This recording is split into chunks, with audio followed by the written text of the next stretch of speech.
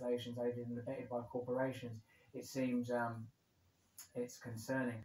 I hope that a uh, viable vaccine emerges. What are you doing, pup? Not for a return to normal, to be absolutely honest, because of course. you know, What, Wilbur? Relative comfort. I hope for a return to What? something far better. I hope for I'm a a, good boy.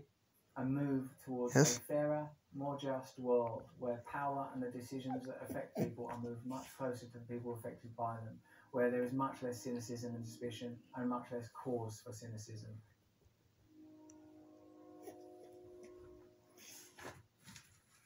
It's him wanting lovies. Oh. Vitamin D is essential for our health, but most people don't reach their daily requirement. Nature made vitamin D3 supplements Sim a good support boy? your daily needs with quality that's trusted by Sim a good puppy? verified by USP. Find Nature made Oh, vitamin D Wilbur, and good more boy. at Walgreens. Is buddy? Yes. Is him want a treat? The idea that the bad guys are out. All right, let's get you a treat. You can kick in the door and flush them out. Right? You just need to burn down.